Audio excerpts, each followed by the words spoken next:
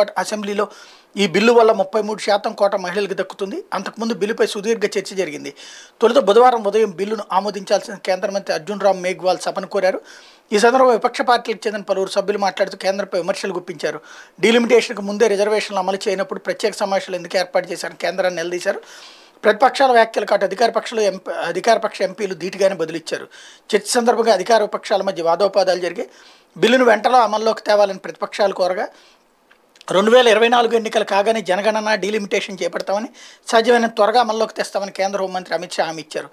బిల్లుపై లోక్సభలో ఇరవై ఏడు మంది మహిళా సభ్యులు మాట్లాడారు. మొత్తం అరవై మంది మాట్లాడారు. అందరూ బిల్లుకు మద్దతు పలికారు. ప్రస్తుతం సభలో ఎనభై రెండు మంది మహిళా ఎంపీలు ఉన్నారు.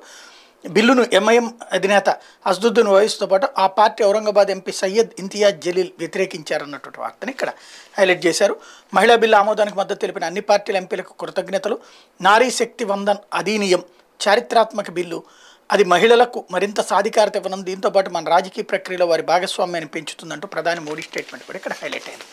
ఇక కక్ష సాధింపు అంటే ఇది అంటూ లేని స్కిల్ స్కామ్ నిజమని భ్రమ కలిగించేలా సిఐడి వాదనలు ఒకప్పటి ప్రతిష్టాత్మక దర్యాప్తు సంస్థేనా అని సర్వత్రా చర్చ. కేసులో ఎక్కడా కనిపించిన అధికారుల ప్రస్తావన లోపభూయిష్టంగా సిఐడి దర్యాప్తు అంటూ కక్ష సాధింపు అంటే ఇది కొందరిని లక్ష్యంగా చేసుకుని వేధింపులకు పాల్పడడం అంటే ఇది. నైపుణ్యాభివృద్ధి కేంద్రాల ఏర్పాట్లో లేని స్కామ్ని ఊహించుకుంటూ అదే నిజమని ప్రజలు నమ్మించేందుకు సిఐడి ఎంత పసలైన వాదన వినిపిస్తుందో అది ఎంత లోపభూయిష్టంగా ఉందో విషయం లోతుల్లోకి వెళ్తే స్పష్టంగా కళ్ళకు కడుతుంది. సిఐడి వంటి ఒకప్పటి ప్రతిష్టాత్మక దర్యాప్తు సంస్థేనా ఇట్లాంటి అడ్డగోలు వాదన చేస్తుందన్న అనుమానం కలుగుతుంది.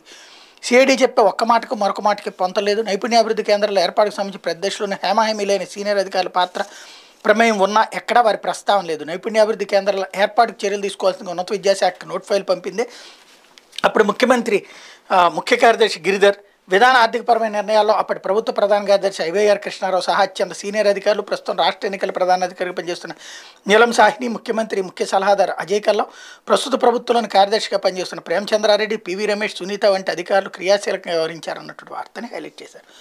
కొంచెం సాధారణమైనటువంటి మనుషులు ఏమనుకుంటారు? అనేటువంటి దానికంటే కూడా చక్కగా వాళ్ళ మెదళ్ళలో విషాన్ని ఎలా నింపచ్చు? ఇప్పుడు ఇదే చదువుకున్నటువంటి మూర్ఖులు ఇతర రాష్ట్రాలు ఇతర దేశాల్లో ఉన్నటువంటి వాళ్ళు చదివేసి కథా కథ కథ అనుకుంటుంటారు. ఎందుకంటే అర్ధజ్ఞానం లేదా అరపరిజ్ఞానం ఉంటే ఇదే నిజమని నమ్మేసేటువంటి పరిస్థితి. అధికారి ఎప్పుడు పాత్ర పోషిస్తాడు? అధికారి స్కిల్ డెవలప్మెంట్ చేద్దామండి ఇతర రాష్ట్రాల్లో కూడా జరుగుతున్నది అని ఒక ప్రపోజల్ పంపిస్తే అది నేరం అవుతుందా? దాన్ని అడ్డు పెట్టుకుని డబ్బులు తిన్నోడు నేరస్తుడవుతాడా? ఇదే ఈనాడు రాసింది. మళ్ళీ ఇంకెవడో కూడా కాదు. ప్రతి వార్తలోనూ ఒక వక్రీకరణ రాసుకుంటూ రావడం తప్పించి మూడు వేల మూడు వందల కోట్ల రూపాయలు సిమెంట్స్ ఇస్తానంది అని ఒప్పందం. అది కుంభకోణం. ఇంకా వేరే ఏమీ లేదు. మూడు వేల మూడు వందల ముప్పై కోట్లు సిమెంట్స్ ఇస్తానందని చెప్పి ఒక జీవో ఇచ్చి పది శాతం మూడు వందల డెబ్బై ఒక్క కోట్లు ఆంధ్రప్రదేశ్ ప్రభుత్వం కడితే సరిపోతుందని చెప్పినటువంటిది. ఎందుకు ఆ పని చేశారు? టెండర్లు పిలవకుండా తమ వాళ్ళకి కట్టబెట్టడానికి జరిగినటువంటి నాటకం.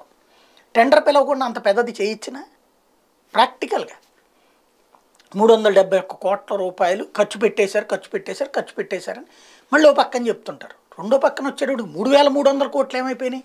అది పక్కా మోసం కదా? జీవోలో ఉన్న దాని ప్రకారం ఎంఓయూ ఉండాలా? లేకపోతే ఎంఓయూలో ఉన్న దాని ప్రకారం జీవో ఉండాలా? దాంట్లో జీవోలో మూడు వందల మూడు వేల మూడు వందల కోట్ల రూపాయలకి అక్కడ ఓకే చేసి పది పైసలు రాకుండా మూడు వందల డెబ్బై ఒక్క కోట్లు రిలీజ్ అయిపోయినాయి. అది కదా కుంభకోణం. వాడు ఇవ్వాల్సింది వాడు ఇస్తున్నాడు మూడు వేల మూడు వందల కోట్లు అన్నది ముప్పై రూపాయలు కూడా రాలేదు. నిజంగా వేధించాలంటే ఆ మూడు వేల మూడు వందల కోట్లు తినేశారని కేసు పెట్టాలి. ఒరిజినల్గా పెట్టాలంటే కేసు అసలు వేధించాలనుకుంటే. మూడు వేల మూడు వందల కోట్లు మింగేశారని పెట్టాలి. వీళ్ళు ఇంకా బాధ్యతగా మూడు వందల డెబ్బై ఒక్క కోట్ల రూట్ అయిన డబ్బుల గురించినే పెడుతున్నారు. మూడు వేల మూడు వందల కోట్లు ఏమైపోయినాయి? అది కదా అసలు పాయింట్. కానీ సాధారణ ప్రజలకు అర్థం కాదు కదా అన్న ఉద్దేశంతో రోజుకొక కథనం. వీళ్ళే రాస్తారు మొన్ననే కదా. మూడున్నర వేల కోట్ల రూపాయల ఎక్విప్మెంట్ ఉందని కేంద్ర ప్రభుత్వ సంస్థ రాసిందని ఈనాడే కదా రాసింది. మళ్ళీ తర్వాత చూస్తే సిమెంట్స్ వాళ్ళ దగ్గర నుంచి యాభై ఎనిమిది కోట్ల రూపాయల సామానే కొన్నారని ఉంటుంది మరొక వైపున ఉంటుంది. ఎక్కడ నిజాలు మాట్లాడుతున్నారు? ఎంతకి ఇలాంటి అబద్ధాలని అసువుగా జనాలకి చెప్పడంలో వీళ్ళు ఆరితేరిపోయారు. లేకపోతే జనాల్ని నమ్మించడంలో ఆరితేరిపోయారు. లేకపోతే చంద్రబాబు ప్రతిష్ట దెబ్బతీయడానికే కస్టడీ. సిఐడి పిటిషన్ తోసిపుచ్చండి. ప్రతీకారం తీర్చుకోవడానికి చంద్రబాబు నిరికించారు ఏసీబీ కోర్టులో చంద్రబాబు తరపు సీనియర్ న్యాయవాదుల వాదనలు నేను నిర్ణయం వెల్లడిస్తామన్న న్యాయాధికారి. ఏపీ రాష్ట్ర నైపుణ్యాభివృద్ధి సంస్థ నిధుల వినియోగంలో అక్రమాలు జరిగాయనే ఆరోపణలతో నమోదు చేసిన కేసులో తెలుగుదేశం పార్టీ అధినేత చంద్రబాబును విచారించేందుకు పోలీస్ కస్టడీకి ఇవ్వాల్సిన అవసరం లేదని ఆయన తరపు సీనియర్ న్యాయవాదులు విజయవాడ ఏసీబీ కోర్టులో బుధవారం వాదించారు. ఐదు రోజులు కస్టడీకి ఇవ్వాలంటూ సిఐడి దాఖలు చేసిన పిటిషన్ తోసిపుచ్చాలని కోరారు. పోలీస్ కస్టడీ పేరుతో విచారణ చేసి ఆ వివరాలు ఎంపిక చేసుకున్న ఛానల్ ద్వారా ప్రచారం చేసి ప్రజల్లో చంద్రబాబు ప్రతిష్టను దెబ్బతీయాలనే లక్ష్యంతో దర్యాప్తు సంస్థ వ్యవహరిస్తుందన్నారు. సాధారణంగా వాదన లాజికల్ పాయింట్ మీద ఉంటుంది. లీగల్ పాయింట్ మీద ఉంటుంది. అంతేగాని పొలిటికల్ పాయింట్ మీద ఉండదు. ఏమని వాదన వినిపించాలి?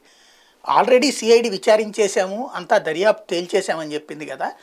అందులో భాగంగానే అరెస్ట్ చేశామని చెప్పింది కదా. మామూలుగా అయితే రూల్ ప్రకారం అయితే విచారించాక అరెస్ట్ చేయాలి. ఫార్టీ వన్ ఇయర్ నోటీస్ ఇచ్చి విచారించి అరెస్ట్ చేయాలి. అలా విచారించకుండానే అరెస్ట్ చేసిందంటే తప్పు కాబట్టి ఇప్పుడు కస్టడీకి ఇస్తే కనుక సిఐడి ఆల్రెడీ తను అనుకున్నటువంటిది చంద్రబాబు గారు చెప్పారని రాస్తుంది.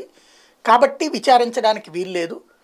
ఆయనకి ముందు బెయిల్ ఇచ్చేసి ఆ పైన విచారించమని చెప్పండి. ఆ విచారించేదంతా రికార్డు చేయమని చెప్పండి అని అడిగితే అప్పుడు బాబు గారికి కరెక్ట్ పాయింట్ అవుతుంది. అలా కాకుండా బాబు గారు రాజకీయ ఉద్దేశంతో చేశారు రా దీంతో ప్రచారం చేయాలనుకున్నారు ఇట్లాంటివన్నీ. ఇప్పుడు చంద్రబాబు గారిని విచారిస్తున్న వీడియోను లీక్ అయింది అట్లాగే బాబు గారిని అక్కడ కోర్టులో ప్రము పలువురు ప్రముఖులు కలిసిన వీడియోను లీక్ అయింది.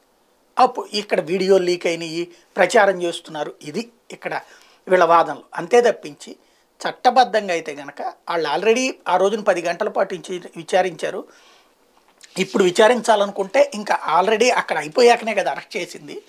ఇంకా మిగతాది విచారించాలనుకుంటే ఆయనకి బెయిల్ ఇచ్చేసేసి విచారించండి అనే రూట్లో వెళ్తే ఏమన్నా కొంత ప్రయోజనం ఉంటుందేమో. కానీ ఇక్కడ రాజకీయ ఉపన్యాసాలు లాయర్లు ఇస్తున్నారు కోర్టులో. కోర్టులో వాదించాల్సింది బయట వాదిస్తున్నారు. అది ఇక్కడ సమస్య అంతా కూడా. లేకపోతే జీపీఎస్ అమల్లో తగ్గేదేలే. ఇది ఒక విచిత్రమైనటువంటి వార్త ఏంటంటే ఆంధ్రప్రదేశ్ ప్రయోజనాల్ని ఫణంగా పెట్టిన జర్నలిజం లేదా ఆంధ్రప్రదేశ్ ప్రయోజనాల్ని నాశనం చేస్తున్నటువంటి జర్నలిజానికి సజీవ సాక్ష్యం. నిన్న అత్యంత ముఖ్యమైనటువంటి అంశాల్లో జీపీఎస్ అమలు. ఇంతకుముందు సిపిఎస్ రద్దు చేసి జీపీఎస్ ఇస్తానన్నారు అది ఒకటి. దాన్ని తగ్గేదేలే అంట. అంటే ఏదో వద్దన్నా చేస్తున్నారు అన్నటువంటి కోణాన్ని ప్రొజెక్ట్ చేయడానికి. కొంతమంది ఉద్యోగ సంఘాలు వీళ్ళకి పబ్లిసిటీ కోసం మాట్లాడే మాటలు ఒకటి ఉంటాయి. వాళ్ళందరినీ కూర్చోబెట్టినే కదా అప్పుడు జగన్మోహన్ రెడ్డి మాట్లాడింది. నెంబర్ వన్ రెండోది వచ్చేటప్పటికి కాంట్రాక్ట్ ఉద్యోగులని పర్మనెంట్ చేయడం. రెండు వేల పద్నాలుగుకి ముందు అందరూ కాంట్రాక్ట్గా చేసినటువంటి వాళ్ళందరికీ పర్మనెంట్ చేసినటువంటి వ్యవహారం. ఎంత ఇంపార్టెంట్ అయినటువంటి అంశం? రాష్ట్రంలో ఉన్న ఉద్యోగులకు ప్రయోజనాలే కదా. రాష్ట్ర ఉద్యోగుల్ని రెచ్చగొట్టడానికి ఫ్రంట్ పేజీ బ్యానర్ హెడ్డింగ్లు పెట్టారు కదా. అంత ముఖ్యమైన వార్త చివరికి ఎక్కడికో ముక్కగా మూలగా వెళ్ళిపోయింది. ఇక్కడ వీళ్ళని ఇంకా ఏమీ అనలేం. ఉద్యోగుల నుంచి ఎంత వ్యతిరేకత వచ్చినా ప్రభుత్వం పట్టించుకోకుండా గ్యారంటీడ్ పింఛన్ పథకం. జీపీఎస్ అమలుకే పచ్చజెండా ఊపింది.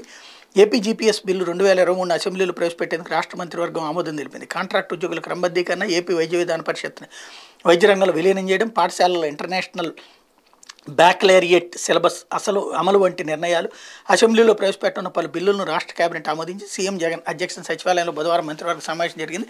ఇందులో తీసుకున్న నిర్ణయాలను సమాచార పౌర సంబంధాల శాఖ మంత్రి చెలుబోయిన వేణుగోపాలకృష్ణ విలేకరులకి తెలిపారన్నటువంటి వార్తని రాశారు. ఇకపోతే గ్యాప్ వన్ ప్రధాన డ్యామ్ పనులపైన అనుమానమే. పోలవరంపై తేల్చి చెప్పిన కేంద్ర నిజ నిర్ధారణ కమిటీ అక్కడ వంద కోట్ల పనులు వైబ్రోస్టోన్ కాలంలో నిర్మాణం గైడ్ బండ్ తరహాలోనే ఇబ్బంది తలెత్తవచ్చన్న కమిటీ నిర్మాణం మధ్యలో మూడు సార్లు వరదలు మెగా ఆధ్వర్యంలోనే పనులు. పోలవరం ప్రాజెక్టులో కీలకమైన గైడ్ బండ్ నిర్మాణాలు తలెత్తిన నాణ్యత లోపలే గ్యాప్ వన్ ప్రధాన డ్యాం పనుల్లోనూ తలెత్తొచ్చిన కేంద్రం నియమించిన నిజ నిర్ధారణ కమిటీ అభిప్రాయపడింది. పోలవరం ప్రధాన రాతి మట్టి కట్ట గ్యాప్ ఒకటిలో ఇప్పటికే దాదాపు వంద కోట్లకు పైగా విలువైన పనులు చేపట్టారు. గైడ్ బండ్లో అక్కడి నేలను అభివృద్ధి చేసేందుకు వైబ్రోస్టోన్ కాలమ్స్ తరహాలో నేలను అభివృద్ధి చేశారు. గ్యాప్ వన్ ప్రధాన్ డ్యామ్ ప్రాంతంలోనూ అలాగే వైబ్రోస్టోన్స్ కాలమ్స్ నిర్మించారు. ఒకే సీజన్లో పూర్తి కావాల్సిన గైడ్ బండ్ నిర్మాణం ఆలస్యమై ఆ సమయంలో వచ్చిన వరదల వల్ల వైబ్రోస్టోన్ కాలమ్స్ నాణ్యత దెబ్బతిని గైడ్ బండ్ కుంగిపోయిందని కేంద్రం నిర్మించిన నిర్ధార నిజ నిర్ధారణ కమిటీ తేల్చింది. గ్యాప్ వన్ ప్రధాన్ డ్యామ్ ప్రాంతంలో నిర్మించిన వైబ్రోస్టోన్ కాలమ్స్ నిర్మాణం విషయంలోనే లోను ఇదే సవాల్ ఎదుర్కోవచ్చని ఊహిస్తున్నట్టు పాండ్య ఆధ్వర్యంలో నిజ నిర్ధారణ కమిటీ తేల్చింది. ఇప్పుడు ఈ సమస్యను ఎలా పరిష్కరిస్తారనేది చూడాలన్నటువంటి వార్తని హైలైట్ చేశారు. ఇదంతా ఆ, జగన్ వచ్చాకనే నాశనమైంది అన్నటువంటి కోణాన్ని ప్రొజెక్ట్ చేశారు. కాకపోతే రాజ్యాంగ పీఠిక నుంచి సామ్యవాద లౌకిక పదాలు మాయం.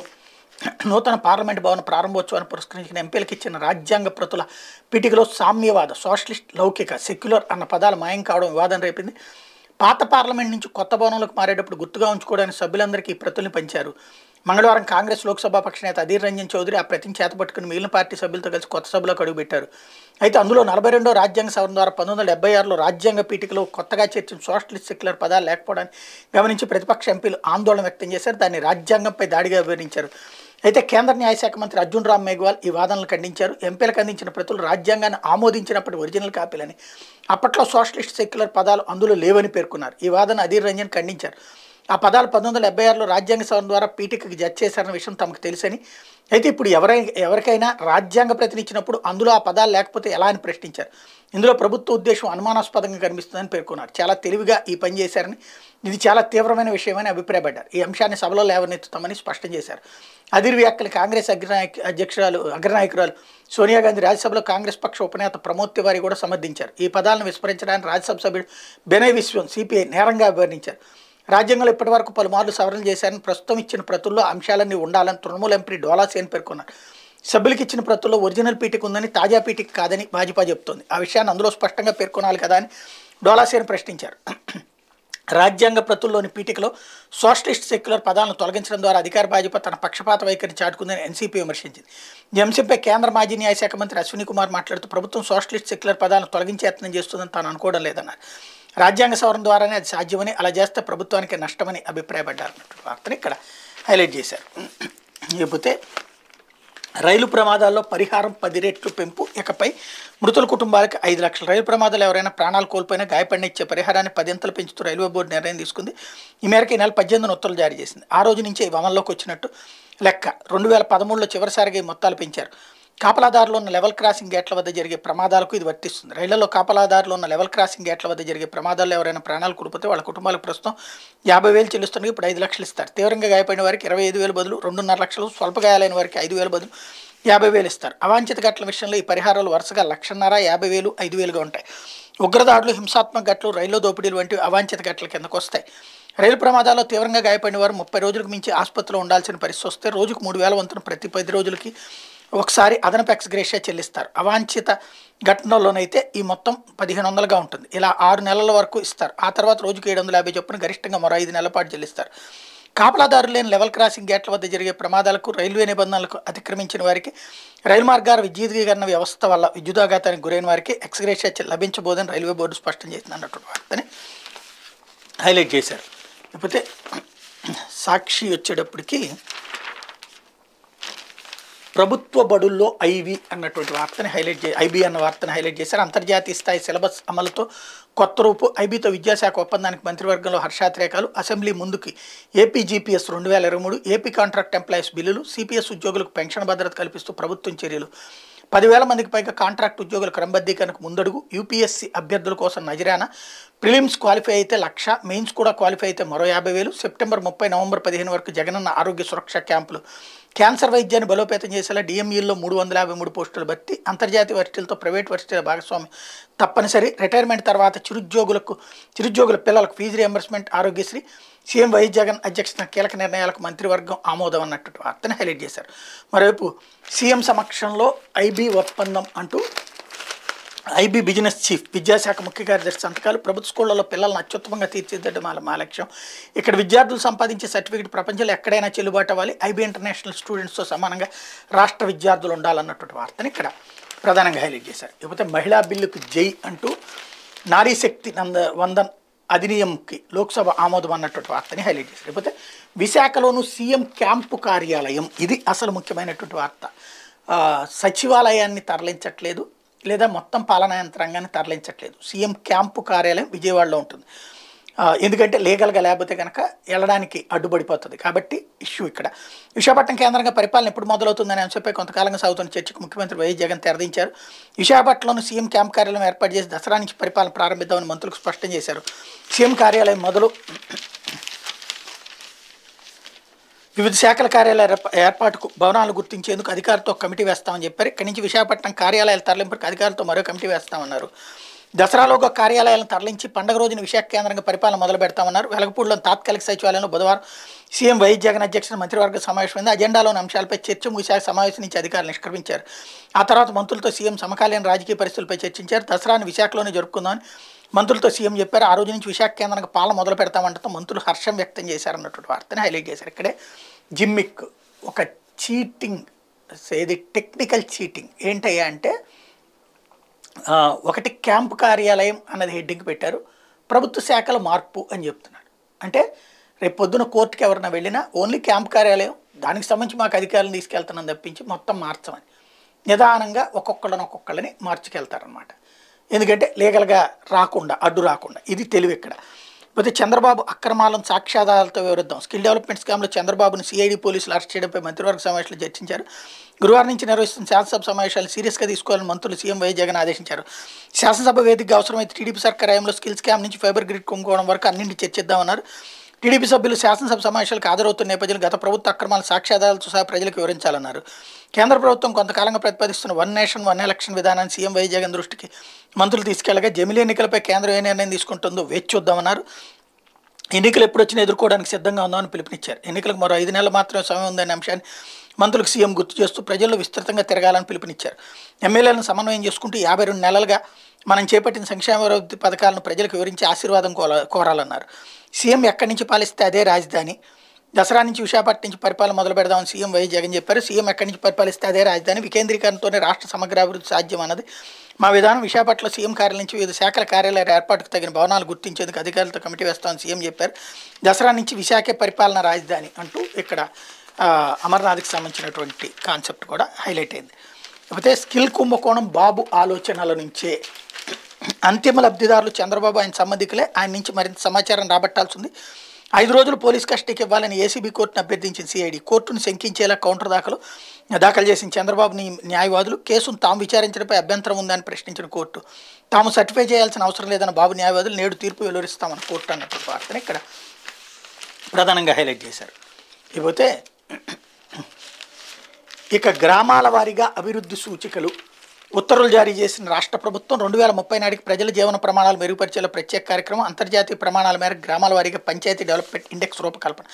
ఐక్యరాజ్యసమితి అజెండాకు అనుగుణంగా కేంద్ర ప్రభుత్వ నీతి ఆయోగ్ మార్గదర్శకాలకు అనుగుణంగా గ్రామీణ ప్రాంత ప్రజలకు మెరుగైన జీవన ప్రమాణాలు పెంపొందించేలా పంచాయతీ డెవలప్మెంట్ ఇండెక్స్ పీడీఐ గ్రామాభివృద్ధి సూచికల పేరిట రాష్ట్ర ప్రభుత్వం ప్రత్యేక కార్యక్రమాన్ని చేపట్టింది.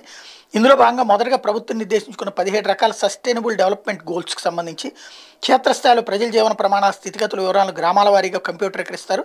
ఇందుకోసం వివిధ ప్రభుత్వ శాఖలకు సంబంధించిన ప్రస్తుత జే ప్రజల జీవన ప్రమాణాలను గ్రామాల వారీగా ఒకే చోట కంప్యూటరీకరించేందుకు చేసే ప్రక్రియ విధి విధానాలను ప్రభుత్వం ఖరారు చేసింది. ఈ మేరకు పంచాయతీరాజ్ గ్రామీణాభివృద్ధి శాఖ ప్రత్యేక ప్రధాన కార్యదర్శి B Rajasekhar GO double five eight ఉత్తర్వులు జారీ చేశారు. ఫైవ్ సెవెంటీ సెవెన్ కీలక అంశాల ఆధారంగా వైద్య ఆరోగ్య విద్య మహిళా సంక్షేమం వ్యవసాయం పశుసంవర్ధక గ్రామీణ గృహ నిర్మాణం భూములు స్వయం సహాయక పొదుపు సంఘాలు ఉపాధి మౌలిక వస్తువుల కల్పన తదితర విభాగాలకు సంబంధించిన ఐదు వందల డెబ్బై ఏడు కీలక అంశాల ఆధారంగా గ్రామాల వారిగా అక్కడి ప్రజల జీవన ప్రమాణాల వివరాలను సేకరించి ఆన్లైన్లో నమోదు చేయనుంటూ ఉత్తర్వులో పేర్కొన్నారన్నటువంటి వార్తను ఇక్కడ ప్రధానంగా హైలైట్ చేశారు.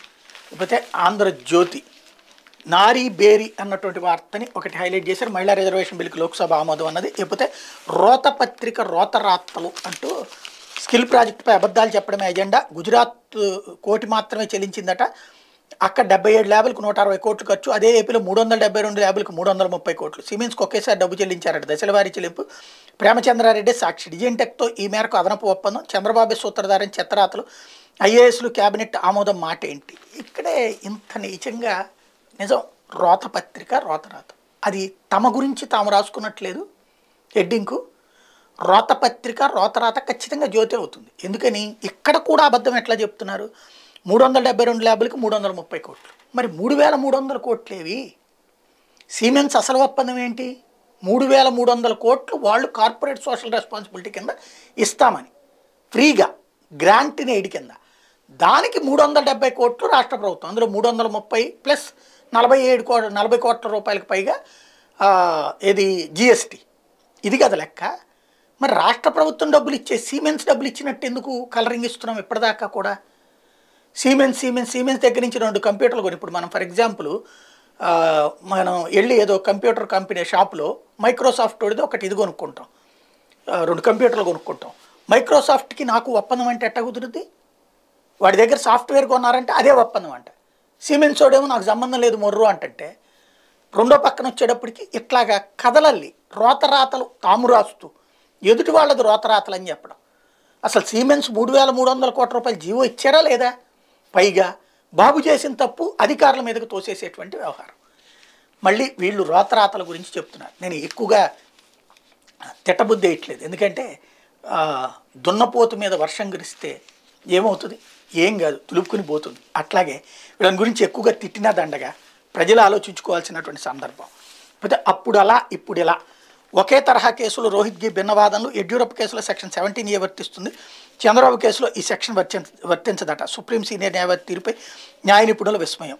చాలా మంచి పాయింట్ చక్కగా రాసుకొచ్చారు. ఇందులో బాబు కస్టడీపై నేడు తీర్పు వెల్లడించడం ఏసీబీ కోర్టు జడ్జి అన్నది. యడ్యూరప్ప విషయంలో అప్పుడు స్టే ఇచ్చారు. ఇప్పుడు కూడా స్టే వస్తుంది అన్నటువంటి కోణాన్ని ఇక్కడ ప్రొజెక్ట్ చేసేటువంటి ప్రయత్నం చేశారు. బట్ యడ్యూరప్పకి శిక్ష కూడా పడింది. ఇక్కడ చంద్రబాబుకి శిక్ష పడాలని కోరుకోకూడదు అనుకోవాలి ఇక్కడ. అట్లాంటి లిటిగేషన్స్ తీసుకొస్తారు ఎప్పటికప్పుడు. సెవెంటీన్ ఏ వాళ్ళ అనుమతి తీసుకోలేదు వీళ్ళ అనుమతి తీసుకోలేదు అన్నట్టు. అవి తాత్కాలికంగాని కేసు అయితే ముగిసిపోదు. ఆ విషయం గుర్తుపెట్టుకోవాల్సినటువంటి అవసరం. అయితే వైసీపీ వాళ్ళకే నచ్చలేదు. చంద్రబాబు అరెస్టుపై వారిలో వ్యతిరేకత. జగన్ చర్యలకు పూర్తి స్థాయి మద్దతు కరువు. అభద్రత వల్ల ఇలా చేశారనే అభిప్రాయం సీ వాటర్ స్నాప్ పోల్లో వెల్లడి. పార్టీల మద్దతుదారుల అభిప్రాయాల సేకరణ అరెస్ట్ కక్ష సాధింపైన స్పష్టీకరణ. చంద్రబాబు అరెస్ట్ రానున్న ఎన్నికల గురించి జగన్లోని అభద్రతను బయటపెట్టిందంటే బీజేపీ వాళ్ళు ఉన్న అరవై ఆరు పాయింట్ ఏడు శాతం కాంగ్రెస్ వాళ్ళు ముప్పై ఏడు పాయింట్ ఐదు శాతం వైసీపీ ముప్పై ఆరు పాయింట్ మూడు శాతం టీడీపీ ఎనభై ఆరు పాయింట్ ఏడు శాతం ఇతరులు యాభై ఐదు పాయింట్ ఒక్క శాతం మొత్తం యాభై ఎనిమిది పాయింట్ ఒక్క శాతం కాదు అంటున్నటువంటి వాళ్ళు ఇరవై ఏడు పాయింట్ ఎనిమిది శాతం మంది బీజేపీ వాళ్ళు కాంగ్రెస్ వాళ్ళు నలభై మూడు పాయింట్ ఎనిమిది శాతం మంది వైసీపీ నలభై ఎనిమిది పాయింట్ రెండు శాతం మంది. టీడీపీ ఏడు పాయింట్ నాలుగు శాతం మంది ఇతరులు ఇరవై ఐదు పాయింట్ తొమ్మిది ఇరవై ఐదు శాతం. మొత్తం ఇరవై తొమ్మిది పాయింట్ తొమ్మిది. ఇది టోటల్గా చెప్పినటువంటిది అన్నదాన్ని సీపో సీ ఓటర్కి సంబంధించినటువంటి రిపోర్ట్ అన్నటువంటిది. ఒక వెయ్యి ఎనిమిది వందల తొమ్మిది మందిని స్నాప్ పూల్ అడిగితే ఇట్లా చెప్పారన్నది ప్రధానమైన అంశం. ఇకపోతే బాబు చుట్టూనే అసెంబ్లీలో ప్రభుత్వం ప్రతిపక్ష వ్యూహాలు ఐదు రోజులు సభలో అదే ఎజెండా సీఎం మంత్రులు వైసీపీ ఎమ్మెల్యేలు రెడ్డి అధినేత అరెస్టే టీడీపీ ప్రధానాస్త్రం నేటి నుంచి అసెంబ్లీ సమావేశాలు రాష్ట్ర శాసనసభ సమావేశాలు గురువారం మొదలవుతున్నాయి. స్కిల్ డెవలప్మెంట్ కేసులో అరెస్టే జైల్లో ఉన్న టీడీపీ అధినేత చంద్రబాబు చుట్టూనే ఈ సమావేశాలు సాగబోతున్నాయి. ఆయన జైలుకు పం- పంపడంతో సంతృప్తి చెందని అధికార పక్షం ఆయనపై సభాముఖంగా మరిన్ని ఆరోపణలు చేయాలని సంకల్పించింది అన్నటువంటి వార్తని హైలైట్ చేశారు. లేకపోతే ఎందుకు అరెస్ట్ చేశామో ప్రజలకు చెప్పండి అంటూ మంత్రులకి జగన్మోహన్ రెడ్డి ఆదేశించారన్నటువంటి వార్తను కూడా హైలైట్ చేశారు. లేకపోతే నిప్పుతో చెలగాటం. కెనడా ప్రధాని టుడోపై అమెరికా నిపుణుల ఆగ్రహం నిజ్జర హత్యను భారత్కు ముడిపెడతారా? ఇందులో భాగం కావద్దని బైడెన్కి హితవు. భారత్కు వ్యతిరేకంగా మాట్లాడని గతంలోనే అమెరికాపై కెనడా ఒత్తిడి. నిజ్జర హత్యపై నిందించాలని కోరిన వైను తోసిపుచ్చిన బైడెన్ మంత్రాంగం ప్రధాని మోడీతో మంత్రి జయశంకర్ భేటీ కెనడాలో అప్రమత్తంగా ఉండి భారతీయులకు కేంద్రం హెచ్చరిక అన్నటువంటి వార్తని హైలైట్ చేశారు. అయితే సిపిఎస్ ఉద్యోగుల నోట్లో మట్టి. జీపీఎస్కి మంత్రిమండలి ఆమోదం అసెంబ్లీలో బిల్లు పెట్టడానికి జగన్ సర్కార్ సిద్ధం. రాష్ట్ర వ్యాప్తంగా ఉద్యోగుల నిరసనలు ఓపీఎస్ఏ కావాలని డిమాండ్ ఆందోళనకు ఉపాధ్యాయ సంఘాల మద్దతు అన్నటువంటి వార్తని హైలైట్ చేశారు. నోటి దగ్గరకు వచ్చినటువంటి ముద్ద వద్దనుకుంటే శుభ్రంగా సిపిఎస్ఏ తీసుకుంటామంటే తీసుకోవచ్చు. ఓపీఎస్ అయితే కొంచెం చంద్రబాబు గారు కూడా హామీ ఇవ్వరు. ఇదే అసలు కాన్సెప్ట్ అయితే సీమెన్స్ చెప్పిన సత్యం. స్కిల్ నిజం రోతపత్రిక రాతలకు సంబంధించిన వార్తలో వీళ్ళు రాసిన అసలు తెలివితేటలు చూడండి. స్కిల్ డెవలప్మెంట్ ప్రాజెక్ట్ త్రైపాక్షిక ఒప్పందంలో తమ భాగస్వాములను తమకు నిధులందే అని ఒప్పందం ప్రకారం సాఫ్ట్వేర్ హార్డ్వేర్ సరఫరా చేశామని చెప్తూ రెండు వేల ఇరవై ఒకటి జూన్లో జగన్ సర్కార్కి సిమెంట్స్ రాసిన లేఖ అన్నటువంటిది ఒకటి చూపెట్టారు. ఇందులో ఎంత? యాభై ఎనిమిది కోట్ల రూపాయలు తమకు అందినాయి అన్నటువంటిది రాశారు వాళ్ళు. యాభై ఎనిమిది కోట్ల రూపాయలు యాభై ఆరు పాయింట్ ఎనిమిది తొమ్మిది ఎనిమిది కోట్లు అంటే యాభై ఏడు కోట్లు అందినాయి. అంటే సిమెంట్స్ సంస్థ తొంభై శాతం పెట్టుకుంటుందని పోనీ వీళ్ళు రిలీజ్ చేసిన మూడు వందల డెబ్బై కోట్లనన్నా ఇది నైంటీ పర్సెంట్ కాదే? మరి అంటే ఏంటి? కంప్యూటర్లో ఎక్విప్మెంట్ కొన్నదాన్ని ఇక్కడ కథ నడపడం అనమాట ఫస్ట్ ఇట్లాగే మోసం చేశారు. వాళ్ళు ఏంటంటే ఇట్లాగ ఇట్లాగా ఒప్పందం ఉందంటే ఉందని చెప్పారు. ఎందుకని? రేట్లు వీటి గురించి మాట్లాడడానికి మళ్ళీ అనుకుంటారేమో కొంటారేమో ఇదిగో సిఐడి ఇట్లా కేసు రిజిస్టర్ చేసిందయ్యా. మీ మీద.